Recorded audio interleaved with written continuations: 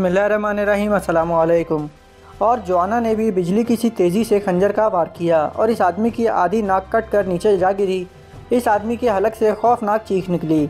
इसके बाएँ हाथ की उंगलियाँ भी बुधी हुई हैं। इमरान ने इस तरह सर लहजे में कहा। तो दूसरे लम्हे जवाना का हाथ एक बार फिर हरकत में आया और बेंच पर रखे हुए इस आदमी के हाथ की दो उंगलियाँ कट कर दूर जा गिरी। इस आदमी के चेहरे पर तकलीफ़ के साथ साथ शदीद खौफ हिरास के आसार नुमाया थे। वो बुरी तरह चीख रहा था जबकि जवाना किसी रोमन जल्लाद की तरह खंजर उठाए। इमरान के हलक से निकलने वाले अल्फाज की तामील के लिए पूरी तरह मुस्तैद खड़ा था। क, क क्या कर रहे हो?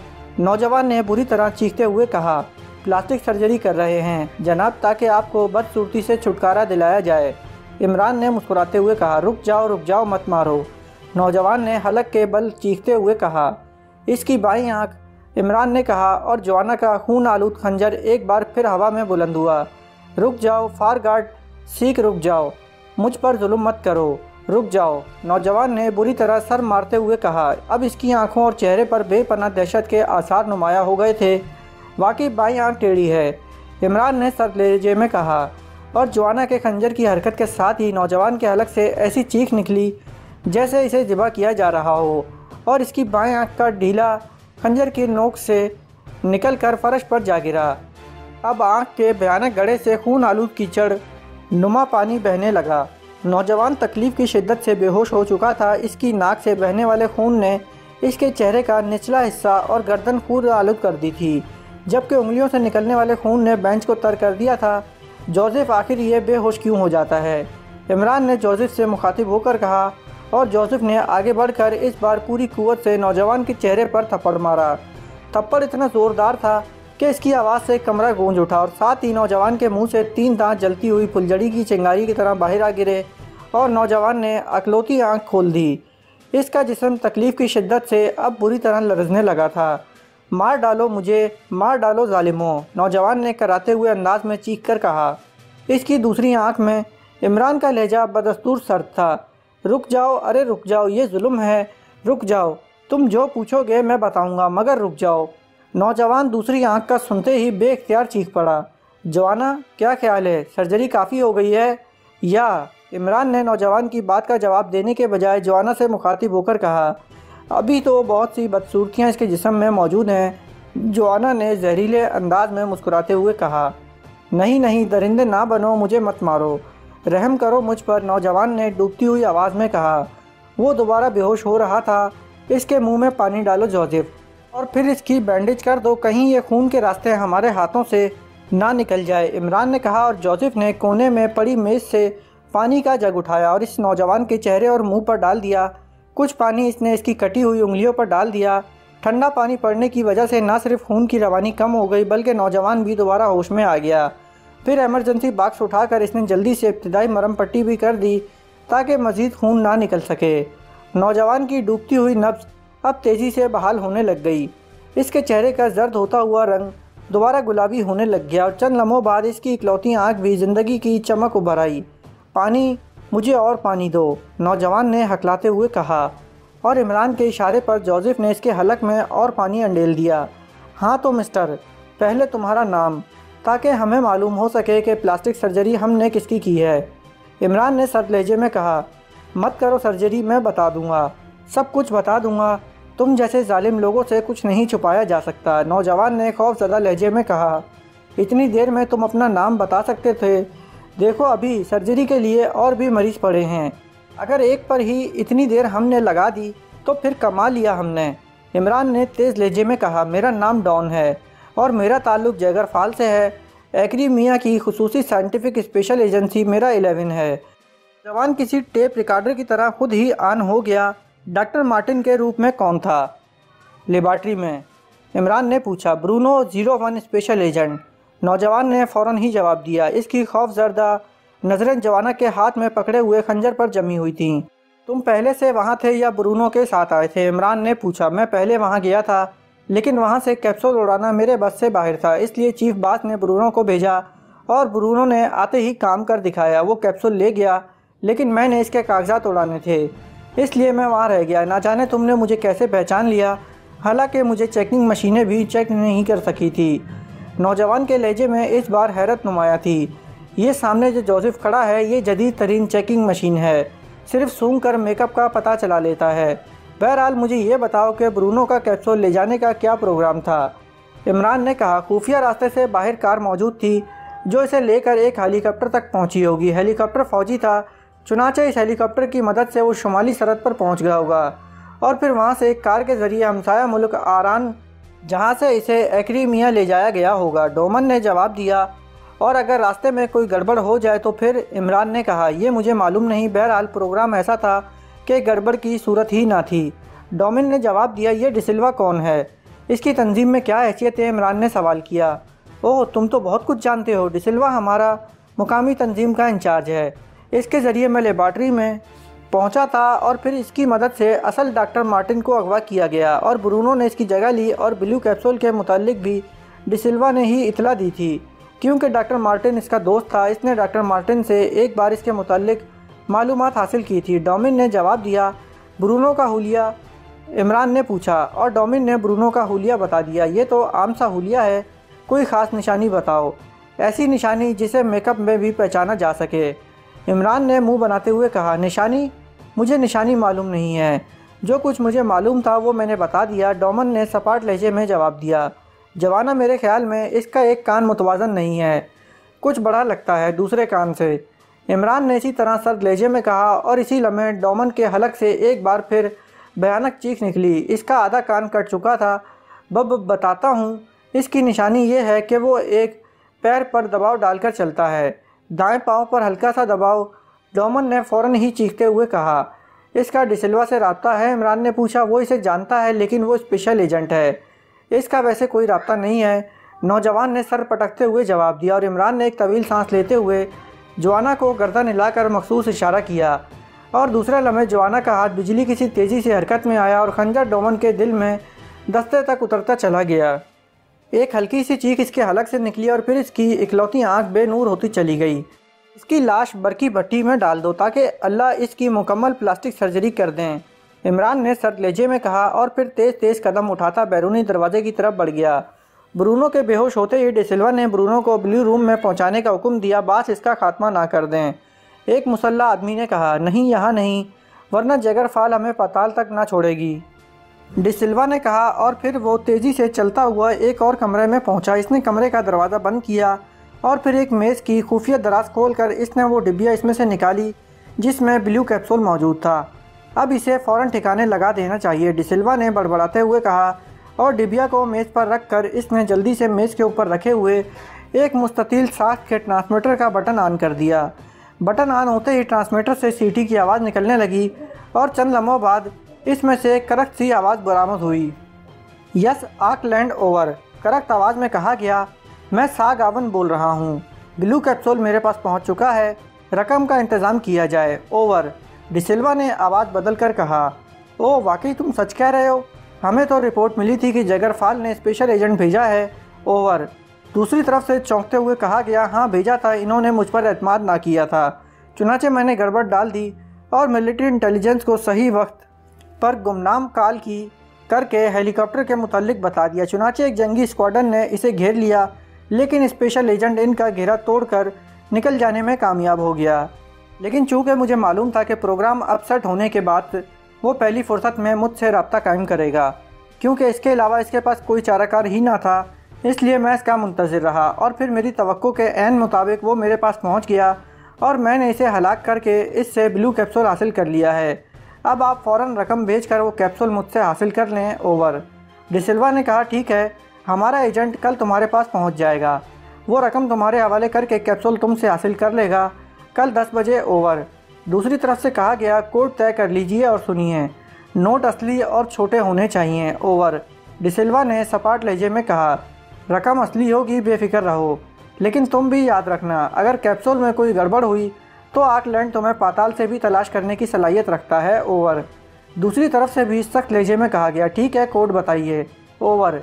डिसिल्वा ने कहा, और फिर इन दोनों के दरमियान मुलाकात की जगह और कोर्ट तय होने लगे। जब दोनों तरफ़ से कोर्ट तय हो गए तो डिसिल्वा ने एक तवील सांस लेते हुए ट्रांसमीटर ऑफ़ कर दिया। अब वो पूरी तरह मुतमिन था कि इसने अपनी जहानत से अपना मंसूबा मुकम्मल कर लिया है। इसने ब्रूनो को जानबूझकर मुख्तलिफ़ ममालिक के नाम बता दिया था।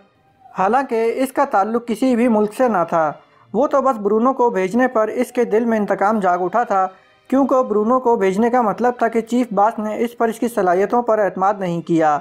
और इसी लम्हे इसने फैसला कर लिया था कि वो ब्रूनो को शिकस्त देकर इससे ये ब्लू कैप्सूल हासिल करेगा और इसके बाद इसे किसी मुनासिब पार्टी के पास फ़रोख करके लंबी रकम भी कमाएगा और अपना इंतकाम भी पूरा करेगा, चुनाचे इसी रोज़ से इसने खुफिया इंतज़ाम करने शुरू कर दिए। इसे ब्रूनो के फ़रार के मुतालिक मालूम हासिल थी, क्योंकि हेडकोार्टर के हिदायत के मुताबिक ये सारे इंतज़ाम इसने खुद ही किए थे। चुनाचे जब तयशुदा वक्त के मुताबिक कार में मौजूद इसके साथियों ने इसे ब्रूनो की आमद का इशारा दिया तो इसने मिलिट्री इंटेलिजेंस को एक गुमनाम कॉल की और इन्हें हेलीकॉप्टर के मुतालिक बताकर रिसीवर रख दिया। इसे अच्छी तरह मालूम था कि ख़तरे की सूरत में पायलट ने ब्रूनो को कहाँ उतारना है। और इसके बाद ये बात मनतकी थी कि ब्रूनो इस मुल्क से निकलने के लिए यकीनन इससे रबता कायम करता और वही हुआ। हर काम इसकी तो के मुताबिक होता चला गया और ब्रूनो कैप्सूल समेत सीधा इसकी झोली में आन गिरा। लेकिन चूँकि वो अच्छी तरह जानता था कि ब्रूनो स्पेशल एजेंट है ऐसे लोग बेपना सलाहियतों के मालिक होते हैं। इसलिए अगर वो ज़रा भी मशकूक हो गया तो फिर पांसा पलट भी सकता था। चुनाचे इसने ब्लू कैप्सूल हासिल करने के लिए दूसरा चक्कर खेला और ब्रूनो को इस ट्रांसमीटर पर बैठा दिया, जिसका ताल्लुक दूसरे कमरे के साथ था और ब्रूनो को वहाँ छोड़कर सीधा वहाँ आया। इस वक्त ट्रांसमीटर पर बल्ब जल बुझ रहा था। डिसल्वा ने हेडक्वार्टर के कोड और मशीनी आवाज़ को टेप करके इस ट्रांसमीटर के साथ पहले ही से मुंसलिक कर रखा था। चुनाचे इसने ट्रांसमीटर के साथ वो टेप भी ऑन कर दिया। इस तरह वो मखसूस मशीनी आवाज़ ब्रूनो को सुनाई दी और ब्रूनो मुतमिन हो गया और फिर डिसल्वा ने टेप ऑफ़ करके चीफ बास के लेजे में ख़ुद ब्रूनो से बात की और इसे ब्लू कैप्सूल डी सिल्वा के हवाले करने की हिदायत की। इस तरह वो बगैर किसी शको शुबों के ब्रूनो से ब्लू कैप्सूल हासिल करने में कामयाब हो गया, लेकिन चूँकि इसे मालूम था कि ब्रूनो के जिसम में माइक्रो ट्रांसमीटर नस्ब है, इसलिए वो इसे यहाँ हलाक ना करना चाहता था, बल्कि इसने इसके लिए यही प्रोग्राम बनाया था कि वो इसे सरहद के पार करा के अपने आदमियों से गोली मरवा देगा। इस तरह वो हर किस्म के शक व शुबे से बालातर हो जाएगा। जब ब्रूनो इसके पास आया ही नहीं तो वह ब्रूनो के मुतलिक क्या जान सकता है? इसी दौरान इसने एक ऐसी मुजरिम तंजीम से भी रबता कायम कर लिया, जो साइंसी राज चोरी करके बड़ी बड़ी हुकूमतों को फ़रोख्त करती थी। इस तंजीम का खुफिया नाम आकलैंड था। इन्हें जब ब्लू कैप्सूल की अहमियत बताई तो वो फ़ौर इसे भारी रकम के एवज़ ख़रीदने पर तैयार हो गए। लेकिन न जाने किस तरह ब्रूनो ने इसे मशकूक हो गया और वो अलमारी तोड़कर दूसरे कमरे के रास्ते वहाँ पहुँच गया। अगर इसका साथी स्क्रीन पर इसे चेक ना कर लेता तो मामला ख़राब हो सकता था। चुनाचे इसने ब्रूनो को इस कमरे में दाखिल होते ही वो सिस्टम ऑन कर दिया, जिस तरह से वो मकनातीसी लहरें काम करने लग जाती थीं। इस तरह वो ब्रूनो पर काबू पाने में कामयाब हो गया। अब कल लंबी रकम लेकर वो ब्लू कैप्सूल आर्कलैंड के हवाले कर देगा और फिर ब्रूनो को बेहोशी के आलम में सरहद पार करके कत्ल करा देगा और मामला ख़त्म हो जाएगा। और इसने ब्रूनो को सरहद पार कराने और कत्ल करने का मंसूबा सोचना शुरू कर दिया। लेकिन अभी वो बैठा सोच ही रहा था कि अचानक इसका एक साथी बौखलाया हुआ अंदर आया। बास एक मशकूक आदमी को पकड़ा गया है। वो कोठी की अकवी सिम से अंदर दाखिल हुआ है। ब्लड हाउंड इस पर झपट पड़ा तो इसने ब्लड हाउंड को ख़त्म कर दिया। हमने बड़ी मुश्किल से इस पर काबू पाया और इसके हाथों में रस्सी डाल दी है। वो कहता है कि वो आपसे मिलने आया है। और कोई खसूसी पैगाम देना चाहता है। आने वाले ने कहा, मुझसे मिलने आया है और ऐसे रास्ते से। ओह, वो कौन हो सकता है? आओ डिसिल्वा ने एक झटके से उठते हुए कहा और फिर वो इसके साथ चलता हुआ ड्राइंग रूम में पहुँच गया। अंदर चौंके एक मुसल्ला आदमी मौजूद था। इसलिए इसने अपने साथ आने वाले को बाहर रुकने के लिए कहा। इसका तीसरा मुसल्ला साथी पहले ही बाहर मौजूद था। ये तीनों इसके ख़ास आदमी थे और वो इन्हीं तीनों के साथ कोठी में रहता था। इसने चूँकि शादी ना की थी इसलिए इनके अलावा कोई और आदमी मुलाजिम ना रखता था। यही तीनों इसके सब काम करते थे। इस तरह डिसिल्वा के ख्याल के मुताबिक इसके राज ही राज रह जाते। डिसिल्वा ने अंदर दाखिल होकर सोफे पर बैठे हुए एक लंबे तरंगे नौजवान को देखा जिसका चेहरा सपाट था और फिर इसने अपना तारुफ कराया। वो इसे गौर से देख रहा था और फिर इस आदमी के कहने पर इसने अपने मुसल्ला साथी को भी बाहर भेज दिया, क्योंकि बंधे हुए आदमी से भला इसे क्या खतरा हो सकता था। और जब इस आदमी ने डिफेंस लेबार्ट्री थ्री का हवाला दिया तो वो बुरी तरह चौक पड़ा। लेकिन इसने जल्दी से अपने आप को संभाल लिया। वो आदमी अपने आप को किसी मुजरिम, तंजीम का आदमी बता रहा था और कोई सौदा करना चाहता था। डिसलवा गुस्से से पागल हो गया कि इस कदर मेहनत के बाद जब रकम कमाने का वक्त आया तो ये ना जाने कहाँ से टपक पड़ा है। इसने इसको कत्ल करने का फ़ैसला कर लिया चूँकि इसकी जेब में रिवाल्वर ना था। इसलिए वो दरवाजे की तरफ़ बढ़ा ताकि बाहर से अपने आदमी को बुलाए और इसे गोलियों से चलनी कर दे। लेकिन अभी वो दरवाजे तक पहुँचा ही था कि कोई चीज़ इसकी खोपड़ी से टकराई और वो लड़खड़ा कर नीचे गिरा ही था कि वो आदमी उछल कर इसके ऊपर आ गिरा। डिसिल्वा ने संभलते ही इसे एक तरफ़ धकेलना चाहा लेकिन वो आदमी तो ना जाने किस मिट्टी से बना हुआ था कि बंदा होने के बावजूद इसने डिसिल्वा की गर्दन की गिरद अपनी टांगें डाली और इसके साथ ही डिसिल्वा की गर्दन को ऐसा झटका लगा कि इसका जिसम यक लख्त बेहिस होकर रह गया। अब वो देख सकता था, था लेकिन हरकत नहीं कर सकता था।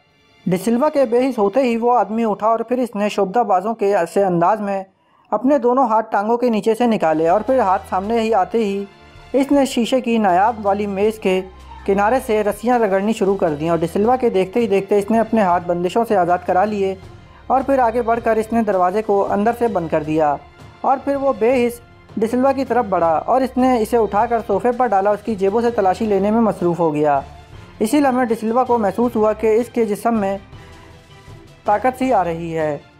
लेकिन इससे पहले कि वो पूरी तरह हरकत में आ सकता, इस आदमी का हाथ हरकत में आया डिसिल्वा की कनपटी पर इस कदर ज़ोरदार ज़रब पड़ी कि डिसिल्वा का जहन फ़ौर ही तारीकियों में डूबता चला गया।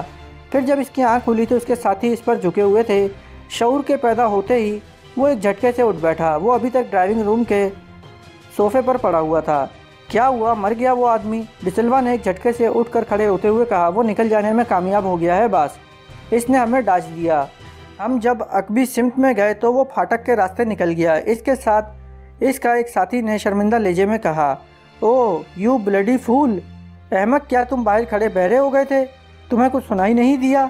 डिसिल्वा ने गुस्से से चीखते हुए कहा, बास, हल्की तो आवाज़ सुनाई देती थी, लेकिन हम समझे कि आप इसे सज़ा दे रहे हैं? मार्टी अंदर गया था, लेकिन फिर भी वो अंदर ही रह गया। हम मुतमिन थे कि वो बंदा हुआ है, इसी आदमी ने सर झुकाते हुए कहा, ओ वेरी बैड हैरत अंगेज़ आदमी था ये। इस कदर फुर्तीला और अयार आदमी मैंने पहले कभी नहीं देखा। डिसिल्वा ने पैर पटकते हुए कहा और दूसरे लम्हे से ख्याल आया कि बेहोश होने से पहले वो आदमी इसकी तलाशी ले रहा था। इसने जल्दी से अपनी जेबों में हाथ डाला और इसके जहन में एक धमाका सा हुआ। जेब से जगर फाल वाला मखसूस कार्ड गायब था। इसका साफ़ मतलब था कि कार्ड वो आदमी निकाल कर ले गया है। ये जगह मशकूक हो गई है फ़ौर यहाँ से निकलने के इंतज़ाम करो। सब कुछ एमरजेंसी शिफ्ट करो। खुफिया रास्ते से जल्दी। मैं ब्रूनो के पास जा रहा हूँ। इसे भी शिफ्ट करना है, जल्दी करो। एक लम्हा ज़ाया नहीं होना चाहिए, डिसिल्वा ने किसी ख्याल के तहत चीखते हुए कहा। और फिर वो दौड़ता हुआ कमरे से निकला और ब्लू रूम की तरफ़ भागता चला गया, जहाँ इसने ब्रोनो को रखा हुआ था। वो ब्लू रूम से मुलैका कमरे में रखे हुए ब्लू कैप्सूल को पहले अपने कब्ज़े में करना चाहता था। इसके बाद इसका ख्याल था कि वो ब्रूनो को खुद उठाकर सबसे पहले यहाँ से निकल जाए। इसके आदमी बाद में आते रहेंगे, लेकिन जब इसने कमरे में पहुंचकर मेज की दराज का खुफिया खाना खोला तो इसके सर पर जैसे क़यामत टूट पड़ी। वो हैरत से आँखें फाड़े, खाली खाने को देख रहा था। इसे यूँ महसूस हो रहा था जैसे इसकी आँखें अचानक बेनूर हो गई हों। क्या देख रहे हो डिसिल्वा? हाथी के मुँह से गन्ना छिना खाला जी का खेल नहीं है। अचानक एक आवाज़ डिसिल्वा के कानों में पड़ी और डिसिल्वा हैरत की शिद्दत से बुरी तरह उछला और दूसरे लम्हे इसका जिसम बुत बना रह गया। ब्रूनो इसके सामने खड़ा मुस्कुरा रहा था। इसके हाथ में रिवाल्वर था। तो तो तुम होश में? डिसिल्वा ने हैरत अंगेज गंग लहजे में कहा, तुम्हें शायद ये मालूम नहीं कि हमारे जिसमों में मौजूद माइक्रो ट्रांसमीटर में भी ये खासियत है कि वो जिसम में मौजूद हर किस्म की गैर ज़रूरी गैसों के ख़ात्मे के लिए भी काम करता है। इसलिए तुम्हारी बेहोश होकर देने वाली गैस का असर जल्द ही ख़त्म हो गया और फिर ना सिर्फ़ मैं यहाँ पहुँच गया, बल्कि मैं इस मखसूस बनावट की मेज़ को यहाँ देख कर चौंक पड़ा। ये मेज़ जगरफाल की हिदायत के एन मुताबिक तैयार की गई थी और इस मेज़ को जगरफाल के आदमी अहम तरीन चीज़ों को छुपाने के लिए इस्तेमाल करते हैं। चुनाचे मैंने इसका खुफिया खाना खोला और फिर मुझे इसमें मौजूद अपनी चीज़ यानी ब्लू कैप्सूल मिल गया। और अब ये भी बता दूँ कि मैंने ट्रांसमीटर पर चीफ बात से बात कर ली थी और तुम्हारा जाली ट्रांसमीटर काल कर रास खुल गया था। तुमने जगरफाल से गद्दारी की है और इस गद्दारी की सज़ा मुझसे ज़्यादा तुम्हें कौन दे सकता है? ब्रूनो ने जहरीले लेजे में कहा